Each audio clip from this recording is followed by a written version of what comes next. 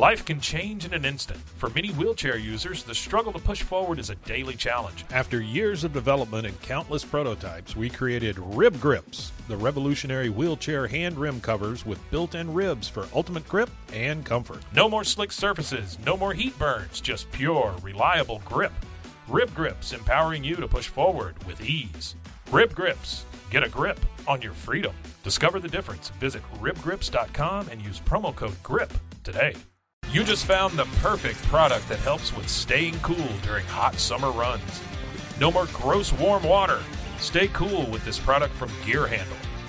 This hydration tube cover helps keep your water cool and easily accessible. Stay hydrated during those long summer runs or even delay from freezing in the winter. Plus, they're compatible with various brands of water bladders and come in various colors. Visit gearhandle.com and use promo code H2O today.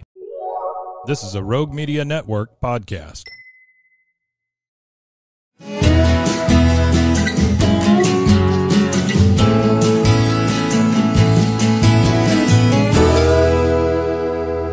This is Central Texas Life with Ann Harder. Hello, everybody. Welcome to Central Texas Life, and I'm so happy to have Kaley Caperton Higdon with us today.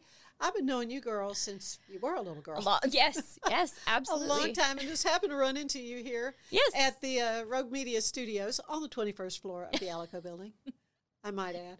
Um, such a wonderful location. But um, yeah, you were here to do No Waco. Yes, yes. Podcast. And I had, I told you, I had just seen on Facebook your new endeavor and had been wanting to have you on the podcast uh, here, Central Texas Life, because I mean you have you have spent your life here Mm-hmm. in Central Texas and uh, accomplished so much, done so much in the entertainment Thank you. world. I went on IMDb Mm-hmm. and uh, Googled your name, and there there you pop up with all kinds of stuff. Of course, I remember um, when you did Color Me. Color Me that- You. Yeah, that the movie that was Yes. in uh, 2017. You did music for it. Yes. So I mean, bottom line is you, you're an actor, but a singer. I knew you first as Yes. a singer. Yes. In fact, I think I was the, the judge of a little kind of a talent thing. Do you I remember think that's that? right. Was, was that when I was West? eight? Oh no! Oh gosh, in West. But but it was you, Holly Tucker, uh-huh.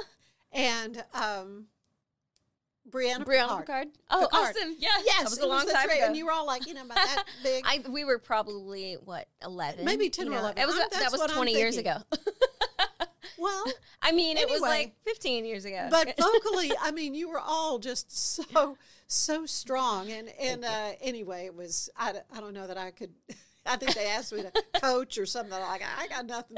These kids are need to be coaching me, which kind of brings us to what you're doing now. yes, And uh, with your wealth of experience, Kaley, and what you've done, um, you're, you're sharing that now with the uh, yes. You know, I people.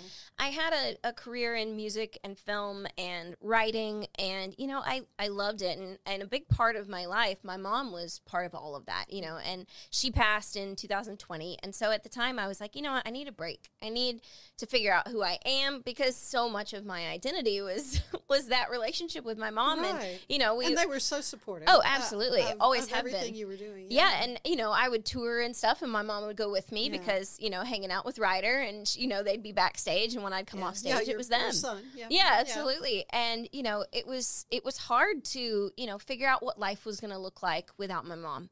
And um, so I took a couple years away and did some photography, which was really fun because it kept me you know doing creative Oh, stuff. that's interesting. It was it was really fun, and um, I I got to photograph you know a lot of families and then um, some uh, uh, musicians and all kinds of different things, and actually really got into sports photography, which if you know me at all is really funny because I know nothing about. I grew up knowing nothing about sports besides baseball, Yeah. and so then I finally.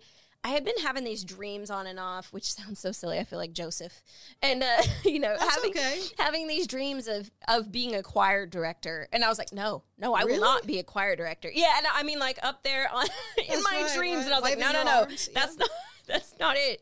And so I kept having these dreams, and it kind of changed throughout. And then it's like one morning I woke up and I was like, I've got it. I've got exactly what I want to do. Now I just have to put it on paper and figure out how to do it. And so from that, that's when the Vocal Academy of Waco was born. Mm-hmm, mm-hmm. So this is this is going to be your first full semester, or Yes. have you been doing? Yes, So this, so- this is brand spanking. new. Yes, and actually, we're still taking um, in some applicants because Uh-huh. um, you know it's it's a it's a niche thing that you've got to find, and you know, Right. like we're in no rush to you know close down and say you know we're not taking Mm-hmm. anyone else because it, the nice part is like I, I have um, two students right now that are completely polar opposite. I have Right. a 13 year old girl who is um, you know just like like me, like really wanting to start performing and you Mm-hmm. know just kills it at the national anthem like absolutely phenomenal Oh, good, good. and then i have a um, older gentleman that plays blues and rock and you know has been doing great on ReverbNation and he's like maybe i should you know rebrand and and kind of you know stuff like that so you know totally opposite. but you know the nice part is no different than film or music Mm-hmm. you know there's no wrong age to start you know I, I was explaining that to them the other day i was like there's no wrong time to start into Right. you know musicals film whatever it may be because you know when you're little you play the little kid then you play the big sister then you play the teenager then you play the adult then you play the mom then you play the grandma so there's no you know there's no it's too late for me to start you know and that's what i love is music you know uh, transcends across all ages and nations and languages and everything. So that's what we're working on, you know, really connecting. So Now, when you've done it, speaking of the acting, you've done a lot of acting. Are you just kind of, all right, I'm done with this? Or would you take a role if it came up? I I might. It just kind of depends. The nice part about film um, is that you know that that movie actually only took like two and a half weeks to shoot. Oh my it was yeah, and and it was it was so nice. So Yeah. you really like you only have You to do really can focus. yeah you it's know. Mm-hmm. it's the post production that takes so long and so you know going into the studio and doing that stuff was was what took so long and then you know the edits it comes through you know edits seven times before you finally get you know the final product or more even. And so it takes you know months to get there. And then um so yeah you know i might it would be fun. Um and then you know i i love the opportunity to be able to support you know all the other people that are coming up in in music Mm-hmm. and film and all these things. It's been so amazing to watch you know all of that. Well, you can give them such good advice because you've been there and done that. It's been enjoyable Yeah, for sure. I mean, have you had an agent? Have you? Um, Was that the so- kind of area you might want to get into as well? So, you know, growing up, um, we interviewed a couple different managers, and um, because you're you're interviewing them as much as they're Oh, yeah, interviewing you. Right. and um, you know, it just none of the it it didn't. It didn't seem right, and I was like, you know, I we interviewed one, and she was this real spicy, you know, Italian, real um, vivacious, um, you know, go getter, and I was like, mom, you know, I'm just, I'm not like that. Like, I don't present myself that way. I'm real, you know, laid back and whatever, and and then we met another guy, and he seemed kind of skulky, and I was like, mm, I did not getting, you know, not not there, and so No, no.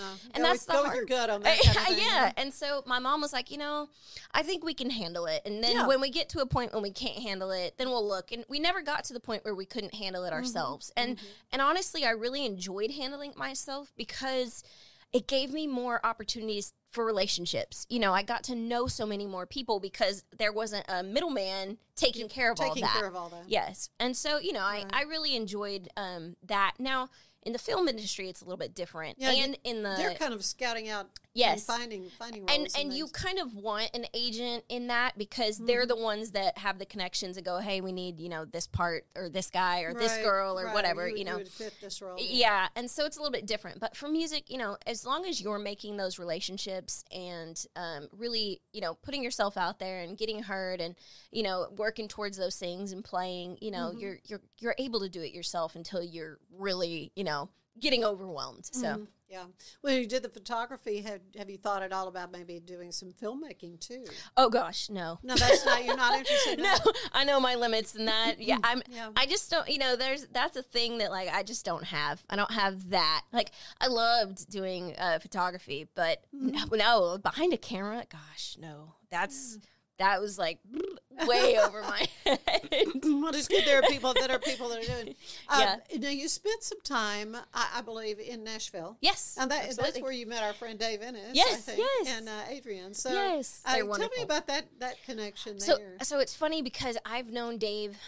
I think I was probably around 15 or so when I met him. oh, really? Uh, yeah, we we played um, a show at the Wild Horse Saloon, and um, with the, it was Restless Heart, and I believe Blackhawk, and um, I played, and um, I don't remember who all else, but it was an an amazing Uh, show. that sounds like quite a lineup. and yeah. and at the time, it was for a company that was going to launch and kind of work on being like a independent version of iTunes. Mm-hmm. And um, it I, I don't know, like I think they kind of ended up doing something different and going in a different direction. Mm-hmm. But that's what the show was for. So it was amazing. Like that was a, a huge show for me because I was.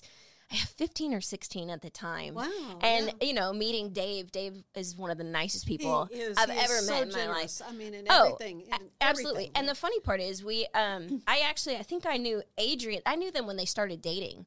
So, like, Really? yeah, oh yeah. Yeah. So, my mom and I love to shop, so we would go to this store called Levy's, Mm-hmm. and um, it was this incredible, like, imagine Dillard's, but everything is like um boutique-y. So, Oh, like, really uh, curated, oh yeah, and so like all the people that you know are going to play at CMT and CMA and ACM, like they go there to get fit, Mm-hmm. Right. Because they have you know great performance clothes and stuff that are unique, and Mm-hmm. they would tailor everyone, and you could go in and drink wine while you're you know getting Oh, tailored. yeah, and, yeah, oh yeah, yeah, so very- we spent you know we spent some time there, and um, Adrian was there, and so she helped me pick out outfits for years.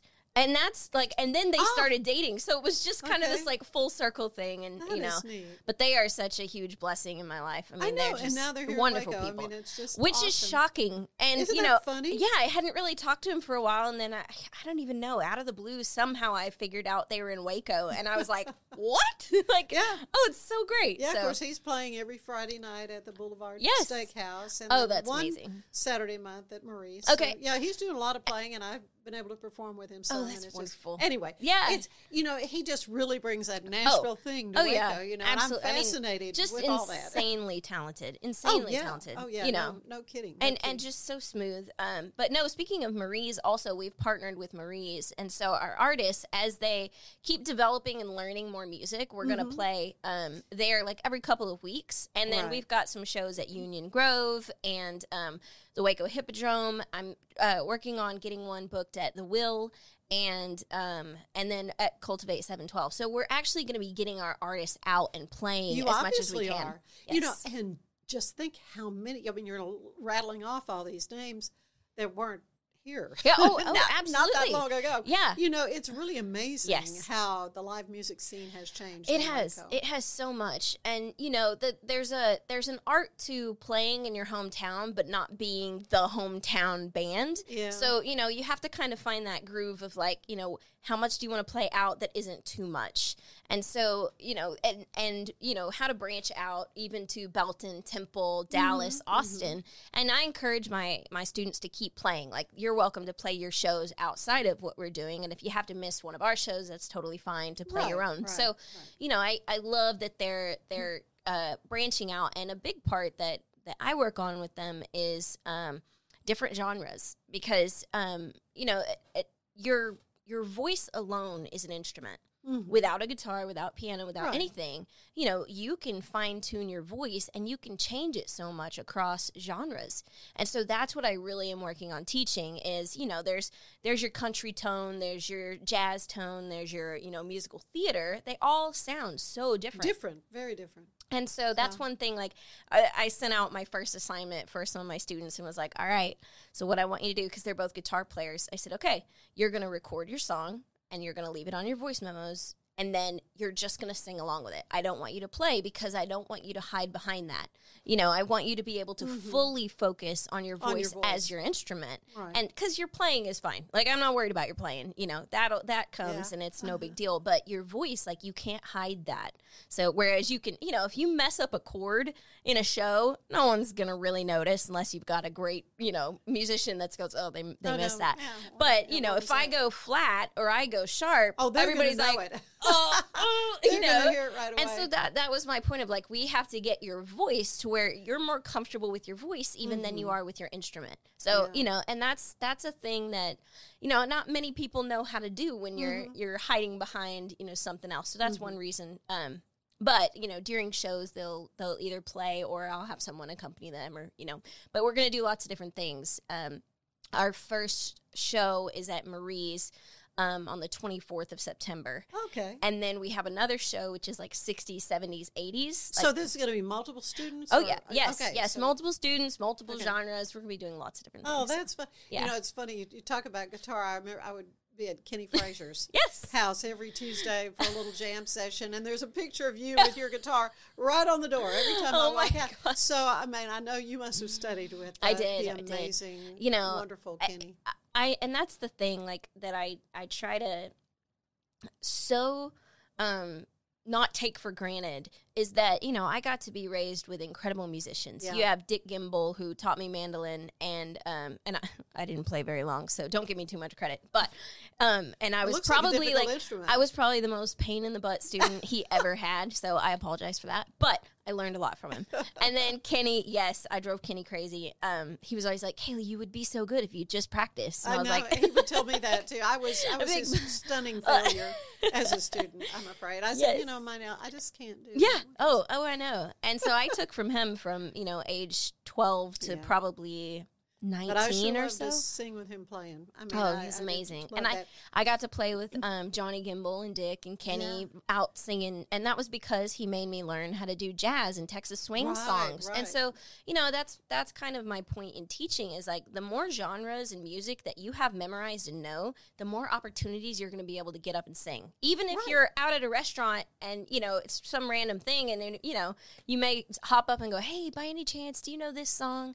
Can I hop up there and sing it?" You know, it's that happens Oh, all the time. yeah. So, you know, the more stuff that you're memorizing and keeping in your brain, the, the more opportunities you Mm-hmm. have. So, you know, that's again, like it goes back to Kenny, you know, he he taught me so much and to just keep learning, keep growing and Oh, I'm so grateful miss, for I that. miss him so much. Oh, I know. Well, you started uh, early in musical theater. Yes. I was 9. so- 9. Yeah, yeah, you were young and and done a lot of shows. Yes. And of course, uh, Waco Civic has got so much going on for Yes, kids. It's yes. really amazing Mhm. the opportunities that that uh, younger kids Mhm. have to kind of fall in love Yes. with that whole world. Uh, did you have a favorite show? Ooh, that that's hard. Um, so I I grew up in the Waco Civic Theater and the Waco Children's Theater. I did both. Yeah. And um, I think my favorite musical that I was in would have to be Children of Eden, and that is um, Stephen Schwartz, I believe. Um, and and it's it's kind of like, um, like he took the story of Adam and Eve and Noah and kind of put his own twist on it, which is crazy. But like Yeah. the music is beautiful Oh, and it was so creative like there's a song just um, that they're singing about you know adam naming the animals and Oh, so yeah. and you have all these people crawling across the stage in different Yeah, you know animals, costumes yeah. and yeah it was, it was really fun and so i Oh. got i got a, a bigger role in that and then the other one would be Wizard of Oz. I played Dorothy. That was Did like you? on my bucket list of like the one role you know I really want to play because as a kid I had every size ruby red slippers. So Yeah. you know, yeah, got You to were do that destined for at, that. at China Spring, which was really cool. Yeah. And then the other one would be Secret Garden. I played the the lead in Secret Garden when I was ten, and um, that was that was fun. Yeah, Learning how to do a British show. accent at the age of ten is. Yeah. My brother still makes fun of me for that. He goes, "Dickon, where's the key to the dough?" And I'm like, "Okay, that's enough." Well, and, and as a songwriter, I mean, that's a whole nother uh, aspect of your career. Yes. Um, but you've you've done, I understand, the theme song for the Texas Rangers and the National Guard Youth Foundation. yes, And so how did how did you even get that opportunity? I mean, how, how does that even happen? You know, um, uh, okay, so this is just a very funny story. Um, the National Guard Youth Foundation. So I don't know if you remember MySpace, but Oh, oh let me take you back. So we went and uh, I was on MySpace, and this lady just happened to message us out of the blue and was like, "Hey, I'm in charge of this um, National Guard Youth Foundation gala in Washington D.C.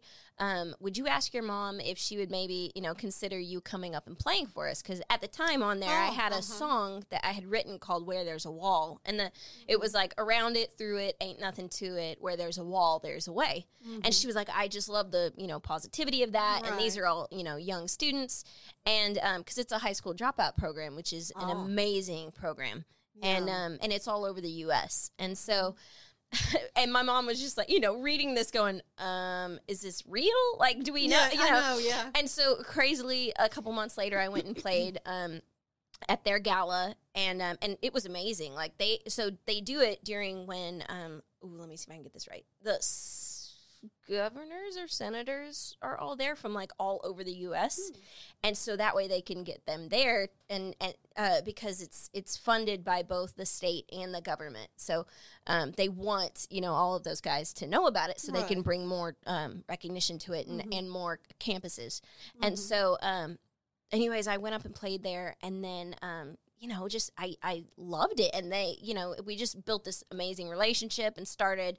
Um, they would have me come sing at all of their stuff, and um, I, it was cool because I got to meet like the senator of Louisiana, and then working with four and five star generals across all of the militaries yeah. uh, or branches, and you know it was just amazing, and um, it was it was so cool, and they were like, you know what, we need a theme song, and so we I wrote this song with um, Billy Austin and Dave Robbins called "Red, White, and Beautiful," and it was it was Oh. so cool. It was just an amazing experience. And then from that, the the um, uh, head head national guard I can't remember what he's called the chief um, I can't remember. Um, anyways, um, I believe it was General Grass. He said um, that they that the National Guard didn't have an anthem, and I Oh, was like, because at the time, like they hadn't yet become a branch branch of their own, Right, and now right. Mm-hmm, they are an equal branch to all the others, and so um, they were like, yeah, we don't we don't have an anthem, and I was like, oh well, I'd love to write you one, so we Yeah. wrote um, always ready, always there, and um, it was so funny because like in the paperwork for all of that, the government can't accept a gift when you're like, oh yeah, this song is for you guys. Mm-hmm. They're like, oh, but we can't accept that, and then they're also like, but we also can't buy it. So you're just kind of stuck in this like. It's there. you know and so um so basically how it happened was like each state had to individually adopt it as their Ah, anthem I see. Yeah. yeah so it's Prob- it's kind of funny probably, uh, yeah some some legislative act that exactly you know to it was it was like um That's funny. sure so no that was and that was really cool we i got to you know play that at different things and they had me fly up and um, sing the national anthem at a washington nationals game and Oh wow! Yeah, it was- it was really fun. cool, and Yeah, I- I, saw your Yeah. former colleague Yes. Holly Tucker just say Yes, I- recently at a uh, at the big Rangers, game, right? yeah, That's so yeah. cool. And Yeah. so um it was it was the cutest thing because I got to go and um my son went with me, so we flew up and Mm-hmm. and um I have a picture and it's the coolest picture. He's on the ground in like, you know, just a, a silly little like striped shirt, navy shorts, and a ball cap. And uh, he's playing with a navy blue Angels toy. Oh, yeah. And there's four four star generals above him looking down at him. Looking down at and him. I have like I snapped the Oh, picture, my. and it's so funny because obviously you can't hear it, but they were all like, they were arguing over what branch of the military he was going to be in, and I was like, oh my goodness, y'all, good. it was so funny. I was like, he's probably going to be on the baseball field, so it was cute. It was That- it was a sweet funny. memory. So Oh, that, yeah, that's awesome.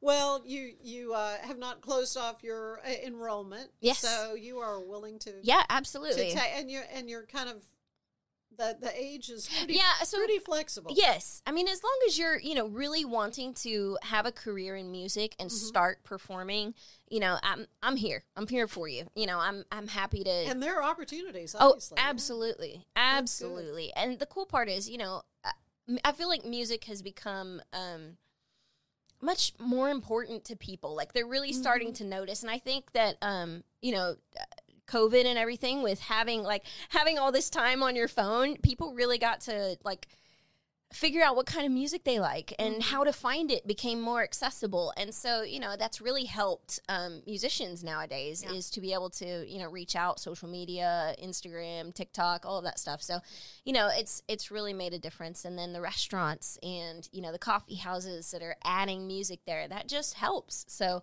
i'm excited i think Yeah. we're at a great place Oh, that's Yeah, good. yeah. Well, I'm so excited to hear about all this. Um, I like to end these visits with a little questionnaire similar to the one the late great James Lipton would use on Inside the Actors Studio. Um, what is your favorite word, Kaley? Oh, my favorite word. Ooh, that's a re- you asked a songwriter that question. That's a hard one. Um,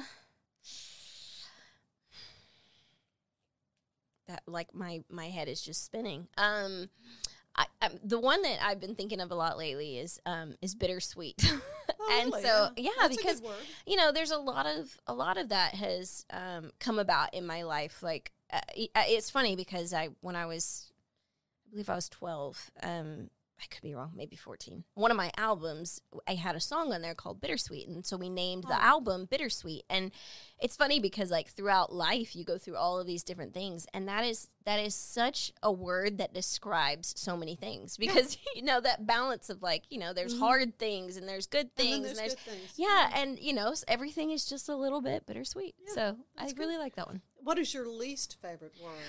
Oh gosh. Least Didn't favorite know there word. was going to be a test. I know. I, I yeah. I'm. I feel. I'm like you know feeling the pressure here. Hmm. My least favorite word. Um. I, you know, probably my. this is gonna be a funny one. Okay, I'm sorry. Um, talent. Really? Yes, because and it's not the word or how it's said that's bother that bothers me. It's that I think the definition is what I struggle with. Is like, you know, Mhm. cuz there's, you know, there's natural talent and then there's skills. And so people a lot of times will say, "Oh, you have this big talent." And I'm like, "No, those are those are skills you learn. Anybody can learn those skills. You know, Right. there's very few things that you can't learn." Uh-huh. So I think that, and that's across the board, whether it's sports or you know, film, music, whatever it may be, any job, there, there's skills and then there's talent, and that the difference between those things is it's confusing No, that- sometimes. that's true. I had never really thought about it, but that now, is now you get to live with that one No, too. I'm, that's right. Now that's in my head. What turns you on creatively, spiritually, or emotionally?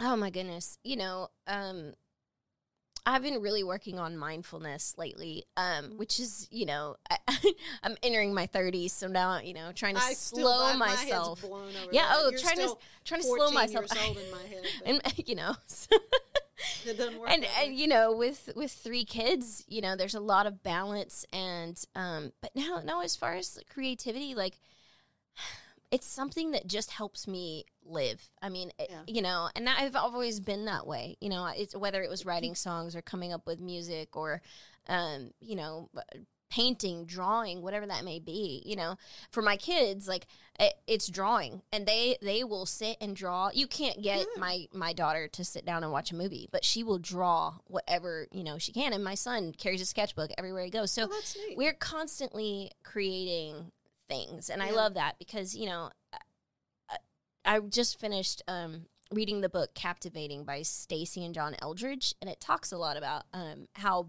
beauty and beautiful things are god's gift to us Mm-hmm. and you know and one thing my mom always said was who you are is, uh, is god's gift to you and what you become is your gift to god I love that. and so you I know loved your mom. she was amazing. And so, you know, just I try really hard to um create something beautiful every day Mm-hmm. or to really notice something beautiful every day whether that's walking outside or whether it's you know my son making noise because he's just one and you know Yeah. making cute little noises or you know whether it's um you know my other kiddos playing sports or you know riding a bike for the first time you know just things like that that are beautiful and you know they they help heal things in your body and and you know so that's one thing that really is is something when you search for beautiful things i think it really helps you to stay creative yeah, Yeah. yeah.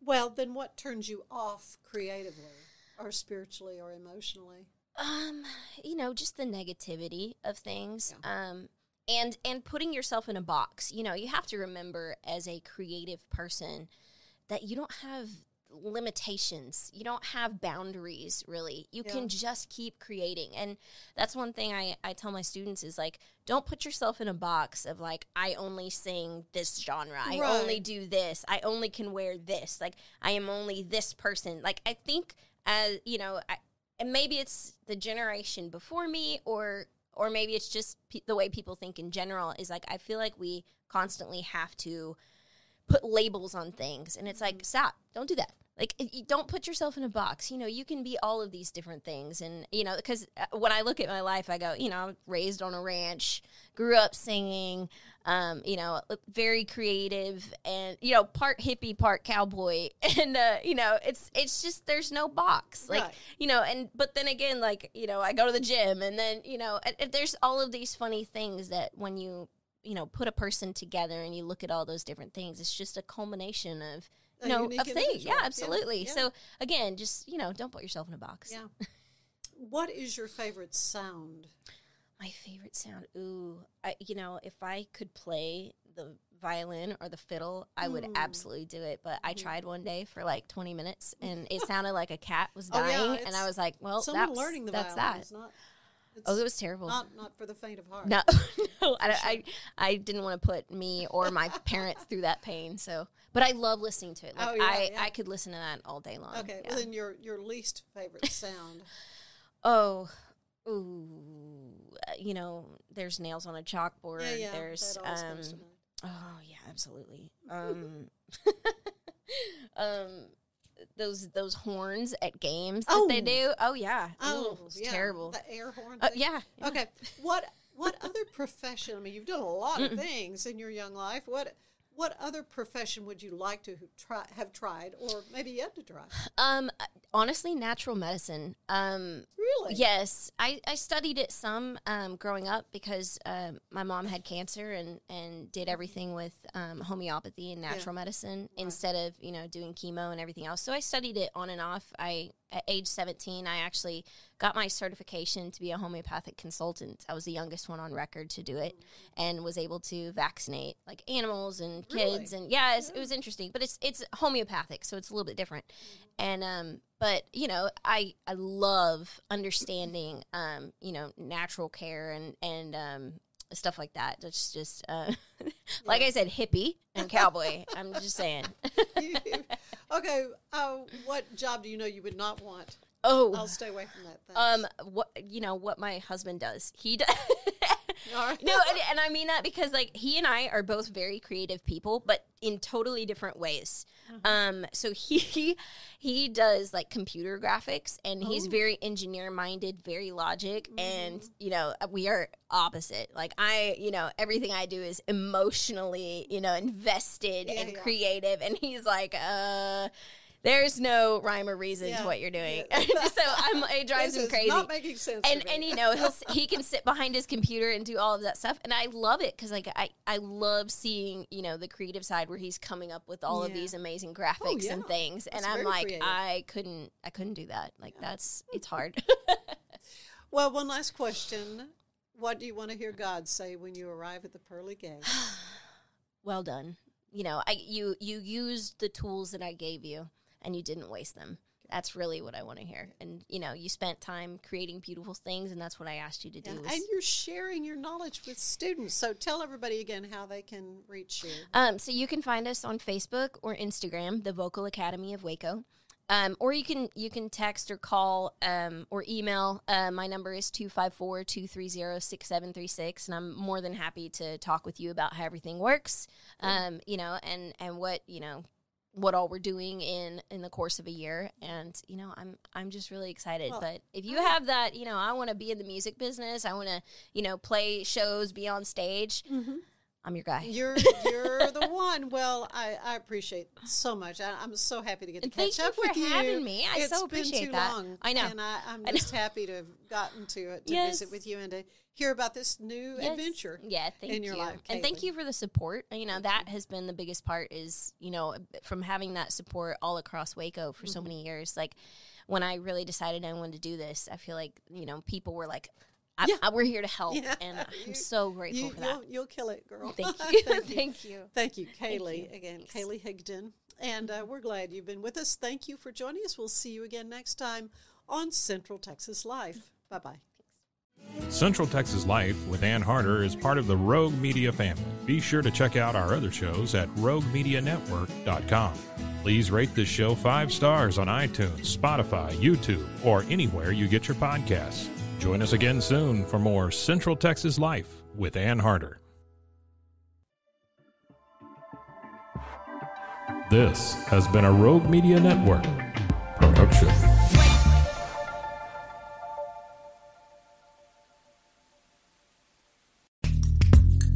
Are you a podcaster? Let's talk podcast hosting. Are you tired of your current podcast host? Need real support in a community that gets it? At Rogue Media Network, we offer top tier podcast hosting services to help you thrive. From hosting and distribution to dedicated support, we've got you covered. Starting as low as $25 a month. Join our community of passionate podcasters today. Contact us at hello at roguemedianetwork.com.